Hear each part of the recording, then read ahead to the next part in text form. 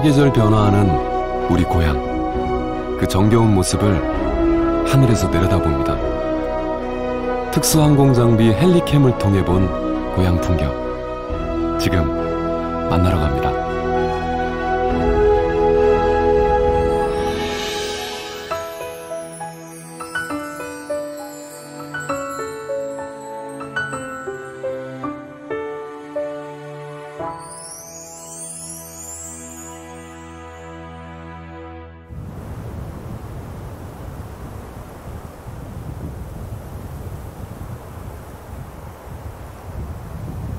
유난히도 폭설이 잦았던 올겨울 민족의 명산 설악산에도 새하얀 눈이 소복이 쌓였습니다. 밝아오는 태양을 따라 천 번을 올라도 그 모습이 다르다는 겨울 설악산에 오릅니다. 보기 좋아요. 아주 시원하고 아들 아들하고 중삼 올라가기 전에 기념으로 한번 왔는데 보기 좋아요. 시원하고.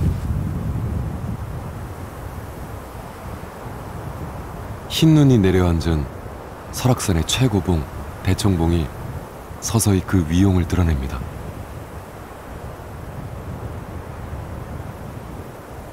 눈설자의 큰 산 악자 설악이란 이름이 제대로 빛을 발휘하는 겨울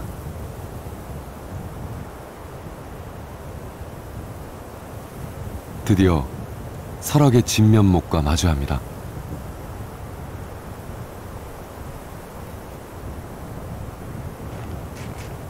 하지만 겨울 설악의 비경은 누구나 쉽게 볼 수 있는 건 아닙니다.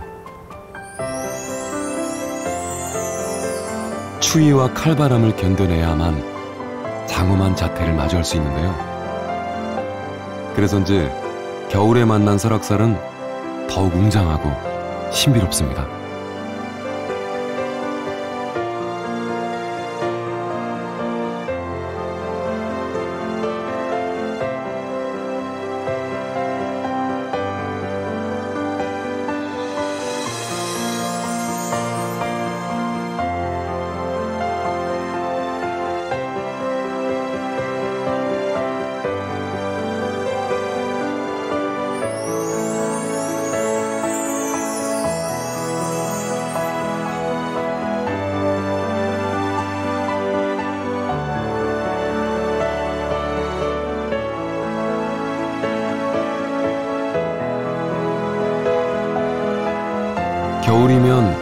혹한에 휩싸이는 강원도.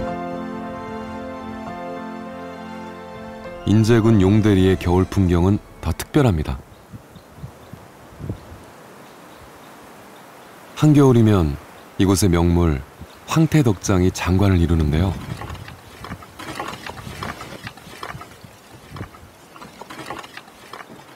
영하 15도 이하에서만 명태를 넣을 수 있기에 날이 추울수록 용대리 주민들의 손길은 더욱더 바빠집니다. 대한민국에서 여기처럼 기후가 이 황태에 맞는 고장이 별로 없습니다. 대골령은 여기보다 더 춥지만 여기하고 틀려요. 이게 대골령은 그대로 그대로 얼었다가 봄에 가서 풀리고 이건 얼었다 녹았다 이 반복이 되기 때문에 예, 육질이 쫄깃쫄깃한 기가 있고 에, 맛이 뒷맛이 달짝지근한 기가 있습니다 이게. 겨울이 따뜻하면 황태가 바싹 마르고 검은 빛을 띠어 상품 가치가 떨어진다는데요. 그만큼 황태를 말리는 일은 하늘과 함께하는 작업입니다.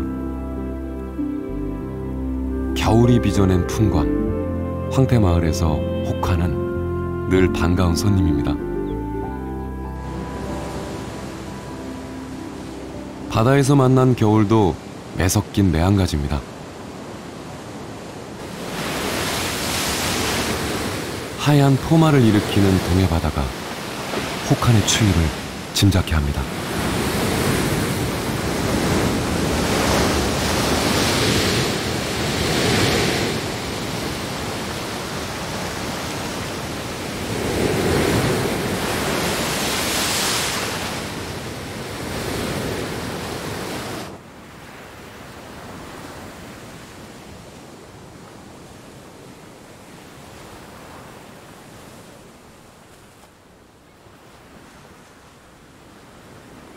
동해안을 따라 내려가면 눈 속에 갇힌 경북 울진의 죽변항에 다다릅니다. 고즈넉한 항구엔 며칠째 조업에 나가지 못한 배들이 정박해 있는데요.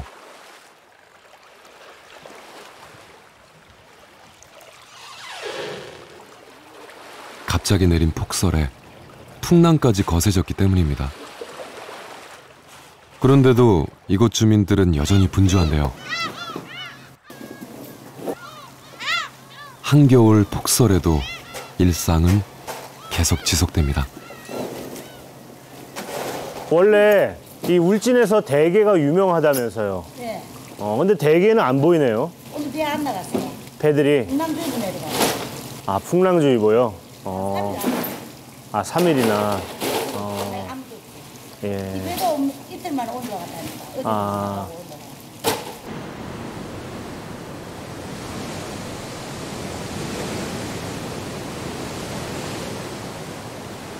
경북 울진군과 강원도 삼척시의 경계에 있는 고포 마을입니다.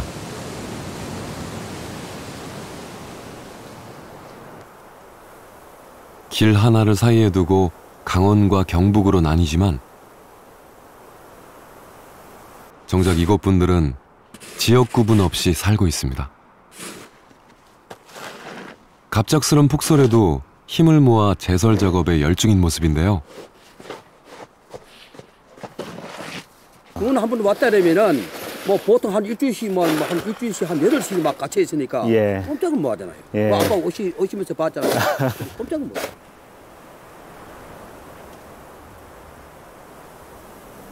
유난히 눈이 많이 내린 올겨울.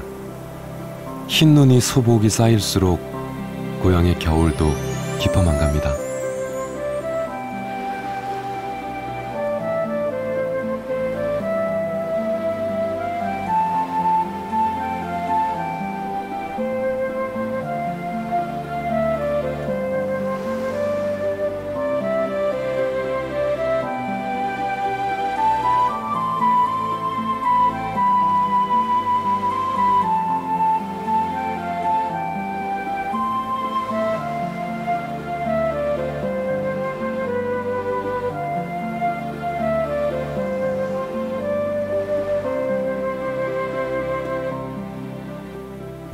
겨울을 만날 수 있는 전북 고창입니다. 마을 주변을 띠처럼 이은 고창 읍성에도 새하얀 눈이 멋스럽게 내려앉았습니다.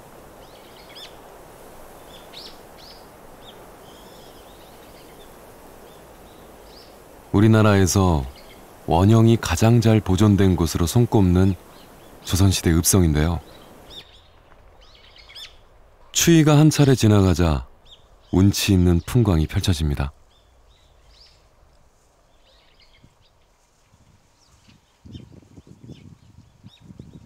눈발 흩날리는 오후가 되니 사진작가의 손길이 분주한데요.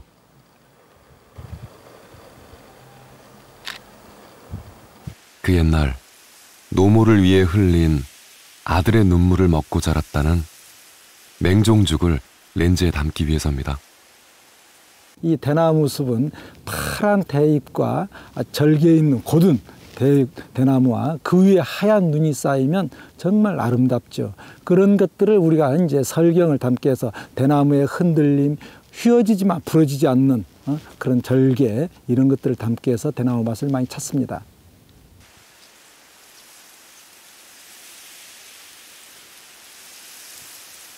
초록빛 댄잎과 하얀 눈이 만나니 고향 땅에도 싱그러운 겨울 내음으로 가득합니다.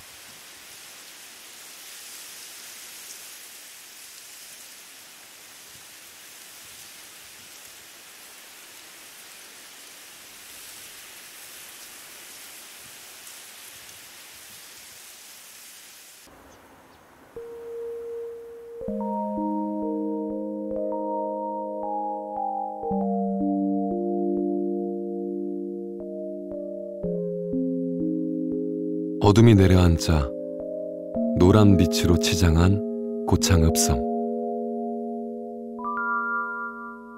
낮보다 더 화려한 고성의 겨울밤은 따스하게 물들어갑니다.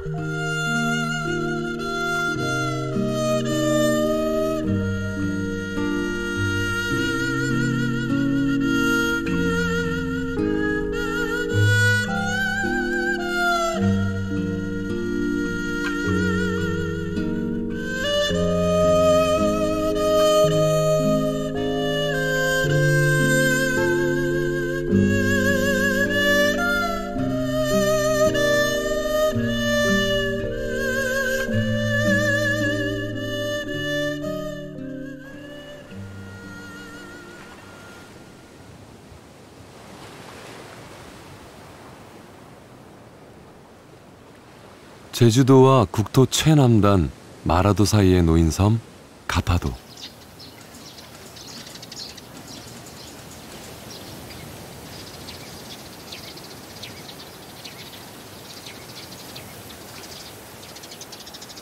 이곳엔 벌써 봄 기운이 느껴지는데요. 겨우내 푸릇푸릇했던 작은 섬은 청보리싹이 돋아나는 초봄 연두빛으로 새 단장을 했습니다.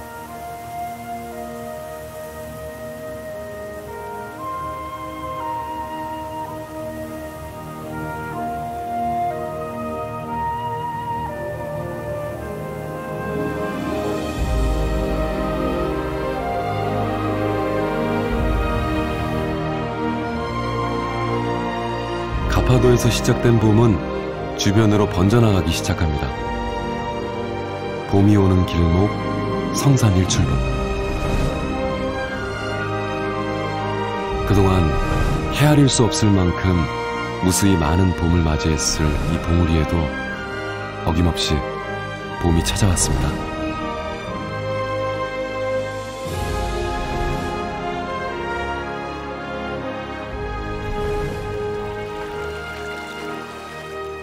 코발트빛 바다색이 인상적인 생명력이 움트는 제주 앞바다. 이곳에도 초봄의 싱그러움이 가득한데요. 태왁을 이고 바다로 뛰어든 해녀들의 몸놀림도 가벼워 보입니다.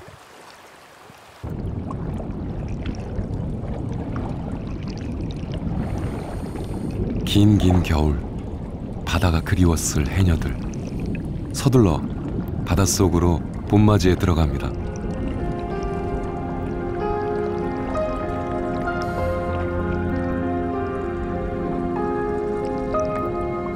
무성하게 자란 해초들을 보니 봄 기운이 물씬 느껴집니다.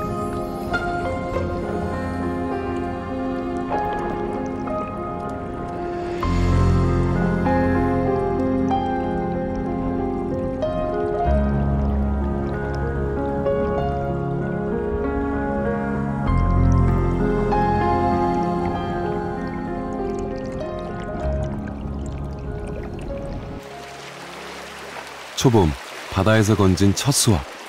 기대가 되는데요. 어이구 성게. 소라 봐준 소라. 아휴. 전복은 안 잡았을까? 아이고 전복 전복. 전복 잡기는 하늘이 별 따기고 가당 문어도 이거 아무나 못 잡아. 아이고 살아 누나. 아이고 살아 누나 이거 잡정이 막 힘들어 수확의 기쁨이 시작되는 고향의 바다에도 봄이 왔습니다.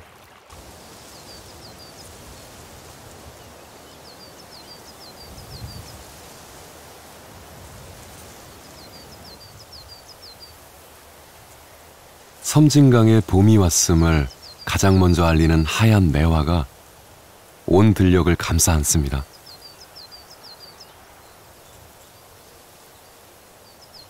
봄이 시작되는 3월 말 하동은 발길 닿는 곳마다 향기 그윽한 매화 천지인데요. 이 아름다운 풍경을 놓칠세라 매화를 담는 화가의 손길이 조심스럽습니다.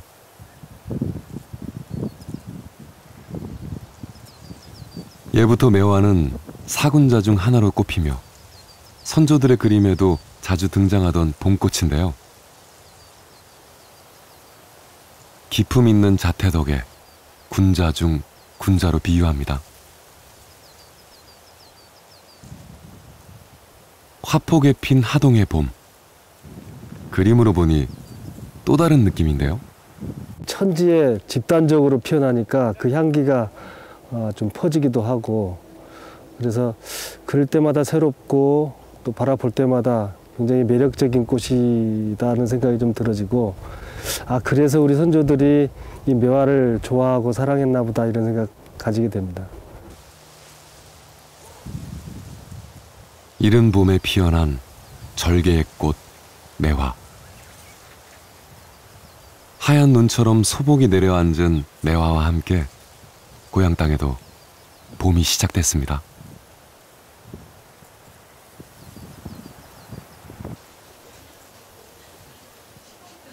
일찍 찾아든 봄을 앞다퉈 마중이라도 하듯 봄의 전령 매화를 보기 위해 상춘객들의 행렬도 끝없이 이어집니다.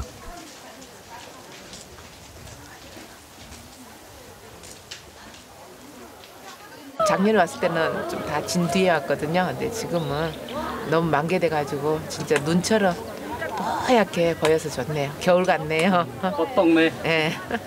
복숭아 꽃 살구꽃 아기 매화들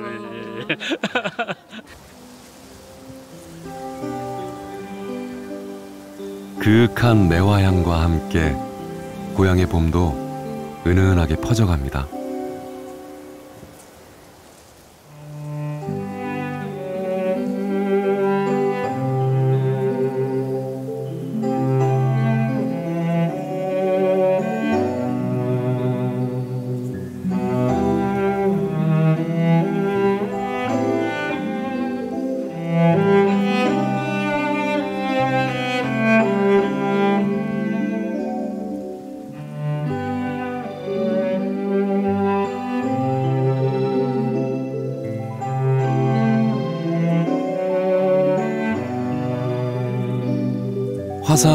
분홍빛이 온 산을 에워싼 전남 여수의 영치산입니다. 봄빛으로 물드는 4월이 되면 오랜 세월 우리 결애와 애환을 함께해온 한국의 꽃 진달래가 절정입니다. 영지산에 오니까 진달래도 많이 피고 봄은 이래서 좋은 것 같아요. 연두색, 분홍색 너무 이뻐요. 영지산에 왔는데 이렇게 많은 어, 진달래를 보게 돼서 진짜 너무 놀랬고요. 너무 아름답고 정말 세상 봄이 온 것을 더 느끼게 되었고 또 이런 봄에 이런 아름다운 봄과 우리 우리 그거야. 남자친구와 함께. 이곳에 오게 되어서 너무. 행복하고 좋습니다. 텔레비에 나오는 거. 그치? 지금 그건 안 돼. 미치겠다. 온 산이 분홍 물결로 가득하니 상춘객들의 가슴에도 봄이 넘실댑니다. 화사한 진달래 꽃대골 속을 거니는 사람들. 빛나는 청춘을 잊지 못하듯 지금 이 순간의 봄도 소중한 추억으로 영원히 기억될 것입니다.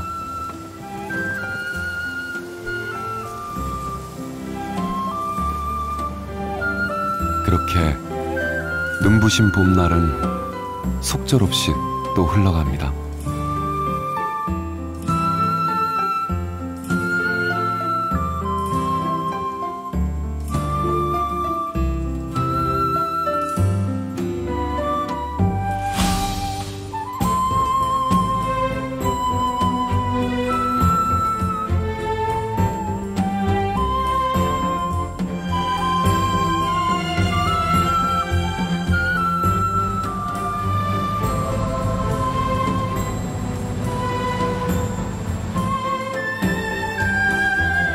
이름처럼 하늘도 땅도 바다도 푸른 섬.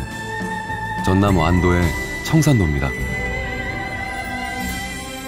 4월이면 섬 곳곳의 들판은 유채꽃으로 노랗게 물드는데요. 흐드러지게 핀 노란 유채꽃과 함께 청산도의 봄은 절정을 맞습니다.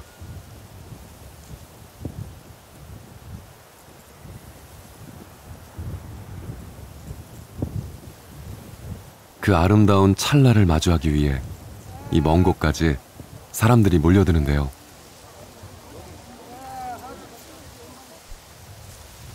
너무 좋네요. 유채꽃도 너무 좋고 예, 아름답습니다. 우리만 보기에는 너무 아깝다는 생각이 들고 많은 사람들이 이 아름다운 풍경을 같이 공유했으면 참 좋겠습니다. 청산도의 봄을 더욱 빛나게 하는 명소. 영화 서편제의 배경이 됐던 서편제 길입니다. 봄 한복판에서 영화 속 한 장면이 재현됩니다.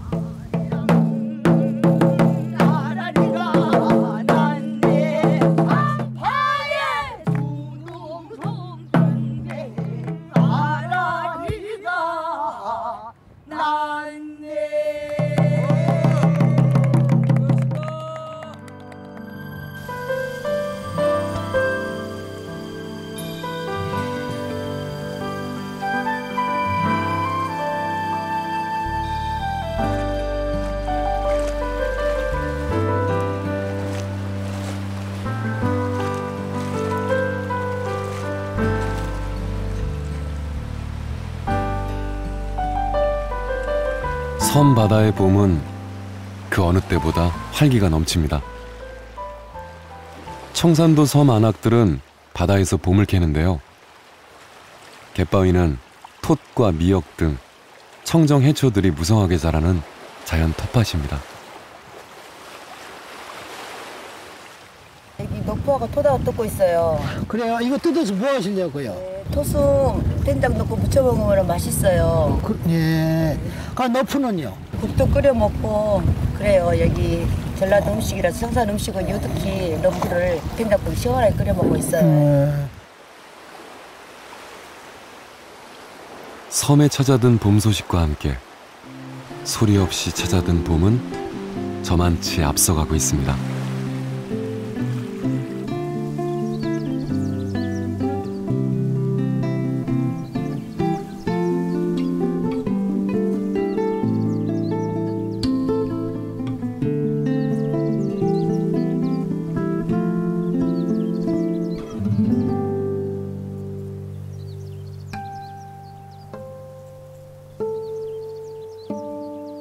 계절의 여왕 5월이면 오색 향기 만발한 수목원은 화사한 봄빛으로 가득합니다. 초록 물결을 배경 삼아 군락을 잃은 색색의 꽃들이 화려하게 우뚝 선 봄을 환영해 줍니다. 온 세상 봄꽃들이 모두 이곳에 모여 만 개라도 한 듯 다양한 꽃들이 펼치는 봄날의 합주는 그 어떤 연주보다 감미롭습니다.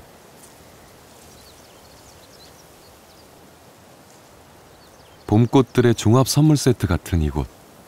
여기 봄이 살아 숨쉬고 있습니다.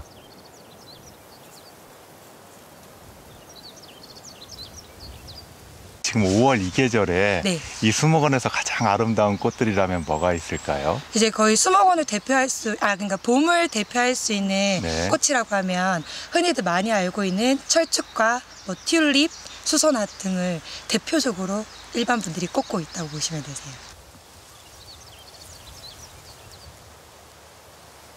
누가 먼저랄 것도 없이 활짝 피어난 꽃들. 깊어가는 봄을 축하라도 하듯 각양각색 꽃들이 한데 모여 저마다의 자태를 뽐냅니다.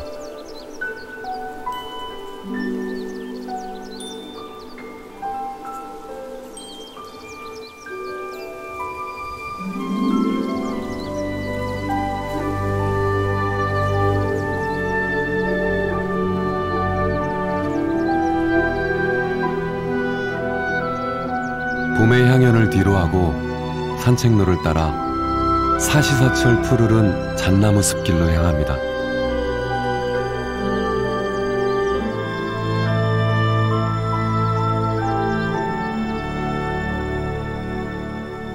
빼어난 산세의 충령산은 잣나무로도 유명하지만 5월이면 진분홍 철쭉이 그림처럼 펼쳐지는 명소가 됩니다.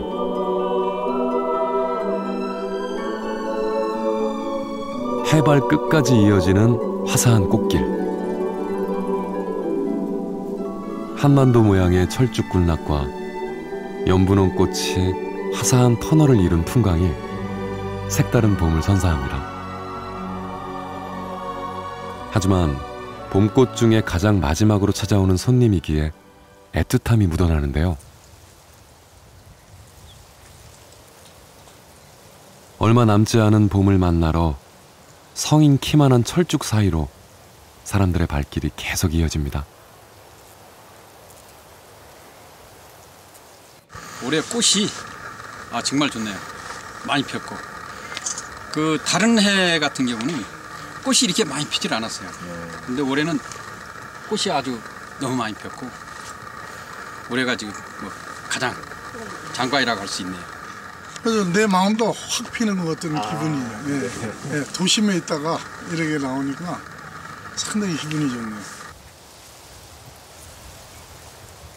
연분홍빛 꽃망울과 함께 마지막 봄날이 붉게 타오르는 순간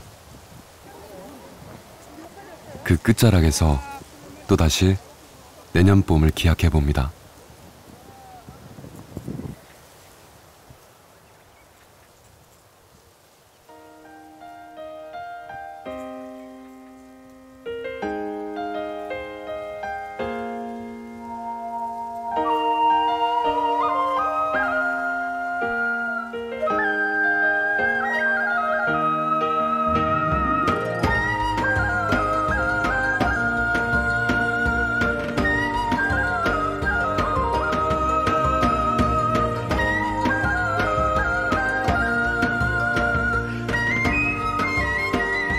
봄이면 연두빛으로 가득했던 순천만 갈대밭은 초록빛 물결로 넘실댑니다. 싱그러운 여름이 이제 막 문턱을 넘었습니다.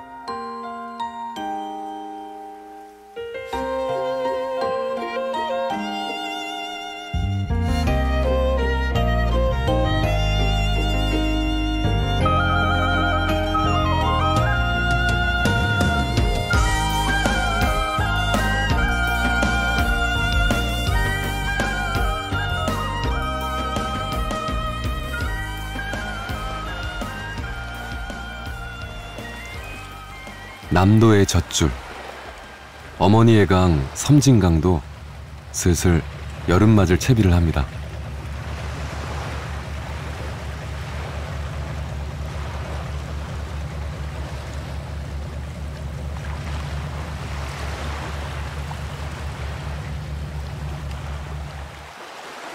여름이면 이곳 주민들은 섬진강으로 모여드는데요.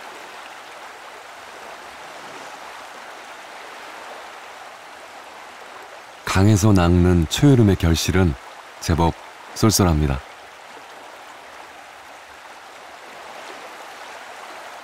개척 섬진강 개척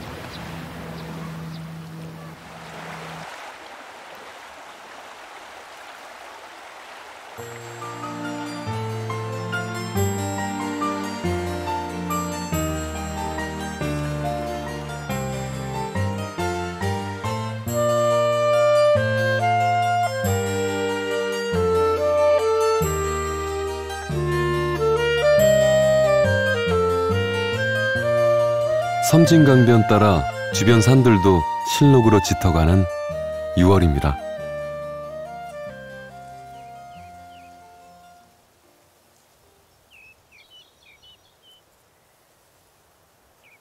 초여름에 거두는 초록의 결실, 매실이 나무마다 가득합니다.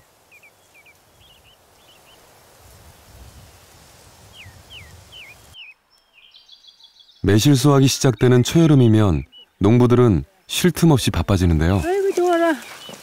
지적이면은 나는 모른다. 이놈아. 잘 견디라. 몰라요. 노릇구름은 요때 좋아요.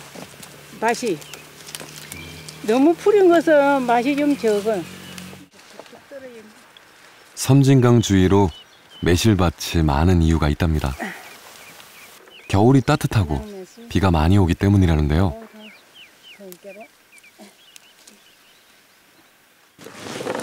그만큼 날씨의 영향을 많이 받는 매실은 섬진강이 준 선물입니다. 광양매실이 좋은 이유는 무엇보다도 이제 그 일조 시간이 가장 많은 지역이기 때문에 그 모든 과일은 그 일조 누적 시간이 얼마나 많으냐에 따라서 그 과일의 유기산이 풍부해지는 게 좌우되는데 아무래도 광양은 일조 누적 시간이 전국에서 가장 길다 보니까 가장 품질이 좋은 겁니다.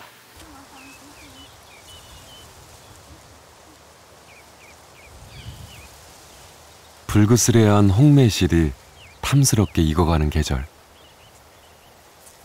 농부들의 땀과 함께 고향의 여름도 점점 더 치타만 갑니다.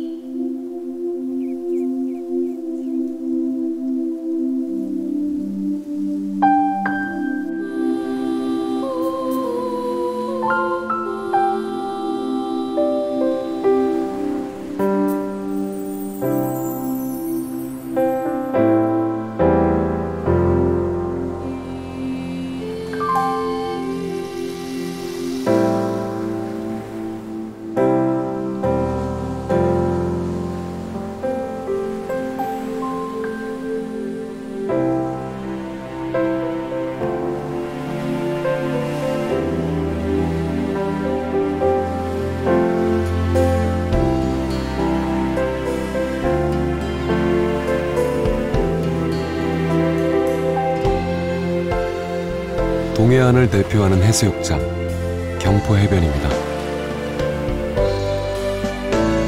피서가 시작되는 7월부터 더위를 피해 많은 인파가 이곳으로 몰려드는데요. 반짝이는 바다와 아름다운 해변에서 사람들은 저마다의 여름날의 추억을 만들어갑니다. 특히 드넓은 모래사장이 펼쳐진 경포 해변은 모래가 곱기로도 유명한데요.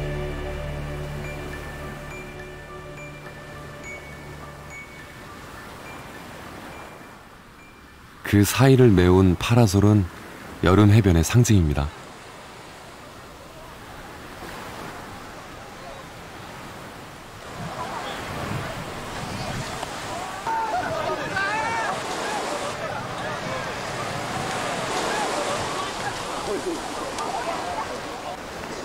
특히 청춘들에게 바다는 젊음의 열기를 발산하기에 최적의 장소죠.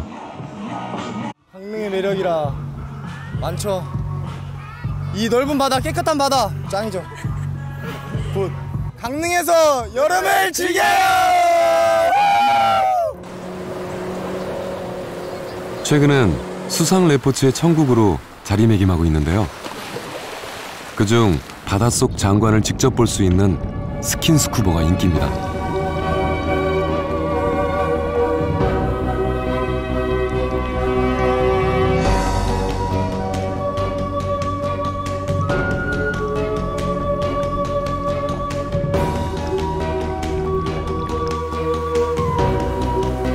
팔층 높이의 30m 고공 상공에서 즐기는 번지점프 역시 빼놓을 수 없는 경포 해변의 명소.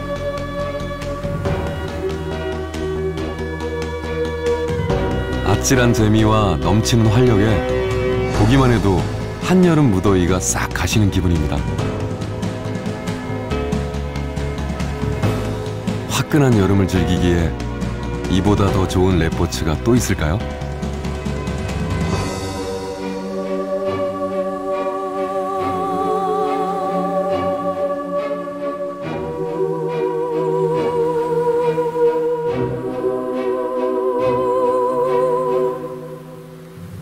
즐기는 한여름의 낭만이 바로 이곳에 있습니다.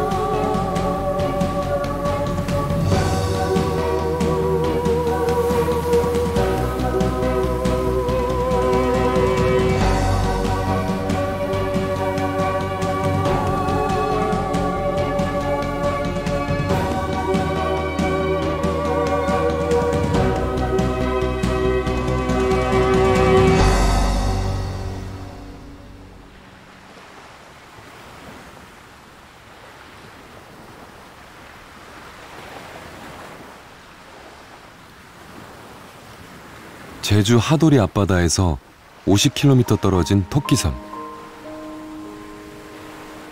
국내 유일의 문주란 자생지인데요.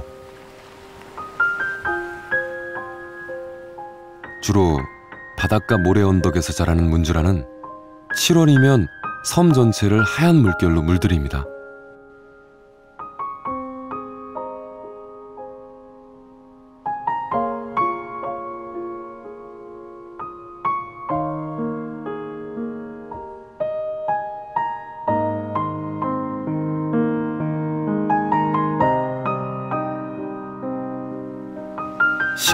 꽃과 함께 여름 향기도 깊어갑니다.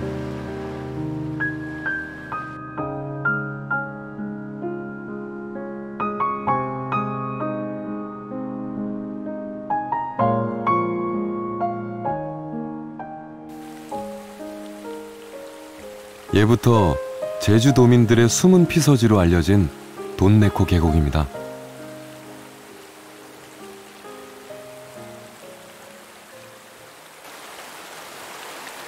돈네코란 이름은 멧돼지가 물을 마시기 위해 찾은 곳이라고 해서 유래된 건데요. 한라산 정상을 중심으로 형성된 하천 중 가장 길뿐 아니라 연중 시원한 물이 흐르는 곳입니다.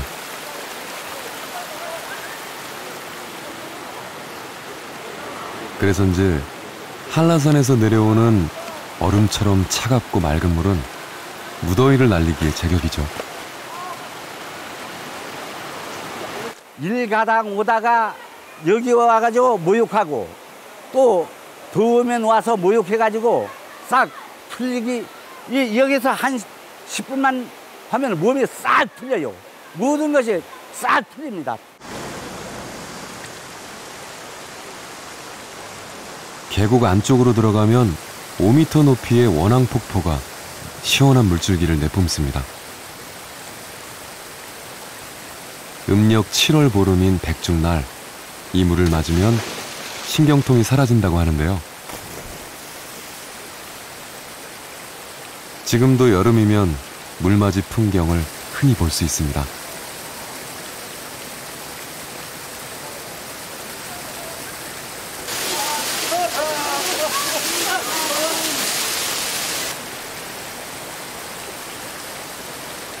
여름이어서 너무 더워서 들어가 봤는데요. 그 처음에 들어갈 때도 차가웠는데 지금 나오고 보니까 너무 추워서 지금 여름인지 겨울인지 구별이 안 가요.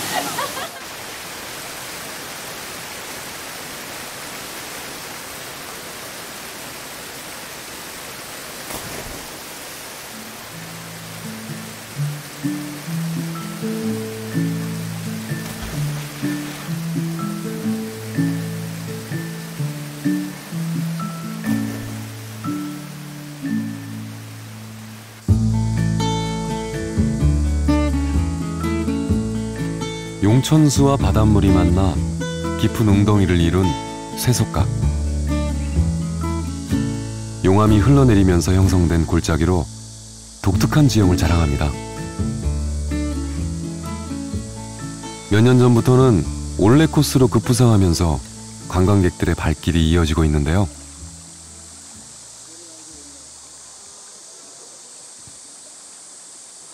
특히 떼배라고도 불리는 제주의 전통배 태우를 체험할 수 있어 더욱 인기입니다.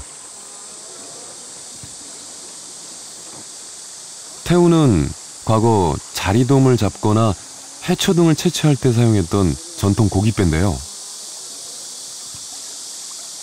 어업으로도 활성화됐던 쇠속각은 예부터 기우제를 지내던 신성한 땅으로 전해집니다. 우리 여기는 아주 영험한 곳으로 얘기죠. 또 길을 가다가 돌을 던지면 다음 용왕이 산다고 그래 용왕님이 길을 가다가 돌을 던지면은 다음날 비가 온다는 여기 전설이 스며든 곳이에요. 여기서는 고함 같은 거는 소리 지르면 안 되는 곳이죠. 유난히 맑고 푸른 물 위에서 무더위를 날리며 영험한 제주의 기운을 느껴봅니다.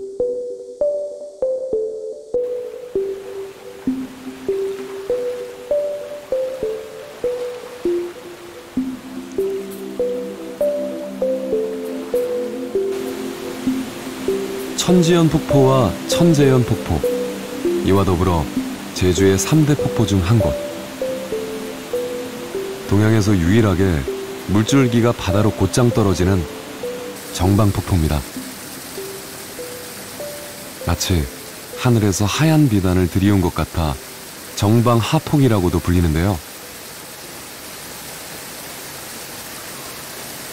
웅장한 경치 덕에 제주 10경 중 하나로 꼽힙니다. 제가 여기서 21년째 찍고 있는데 사진만 올 때마다 새롭고 계절 바뀔 때마다 얼굴이 바뀌니까 진짜 재밌어요.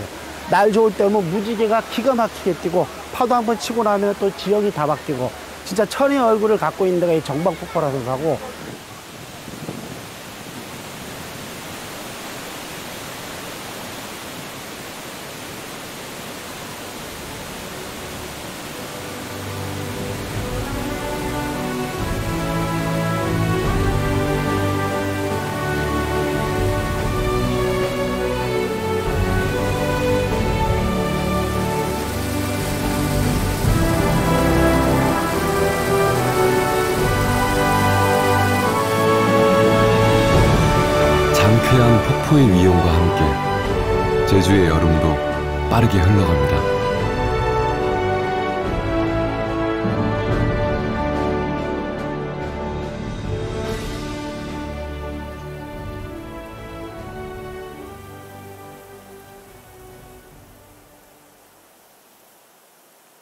더위가 한풀 꺾이자 서둘러 가을이 그 자리를 차지합니다. 유난히 이른 추석 때문에 수확에 여념이 없는 경북 청송의 사과밭인데요.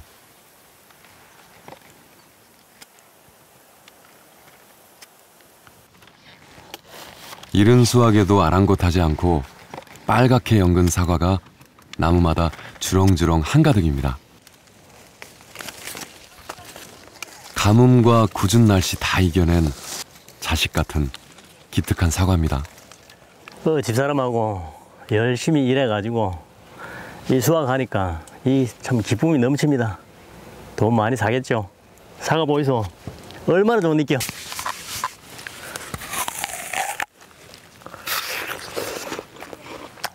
이야, 억수로 맛있네.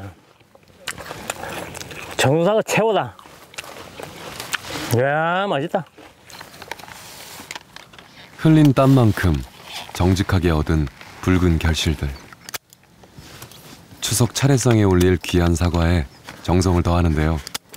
맛에 대한 자부심도 대단합니다.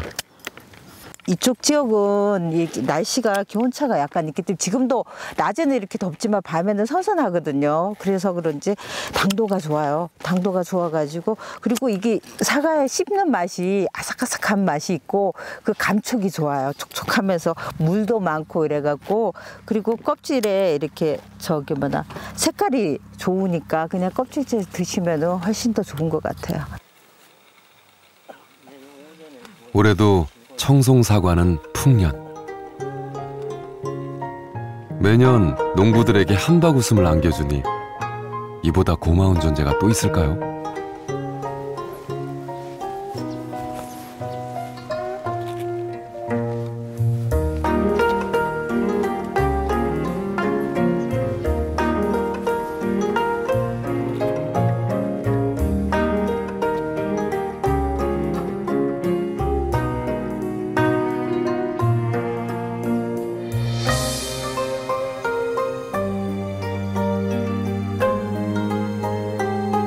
추석으로 평년보다 빨리 추수가 시작된 경북 안동입니다. 푸른 논밖에 보이지 않는데 벌써부터 무슨 추수냐고 되묻는 분들도 있을 텐데요.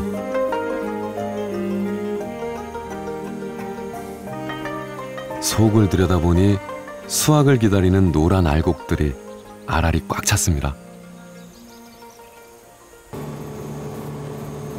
혹시나 때를 놓칠세라 알곡들이 연글자마자 서둘러 수확에 박차를 가합니다.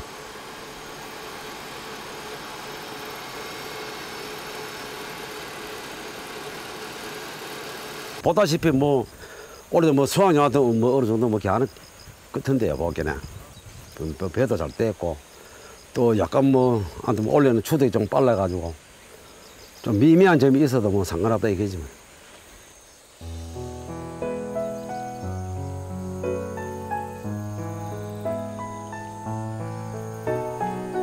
욕심 부리지 않고 자연이 주는 만큼 지금에 만족하는 농부들.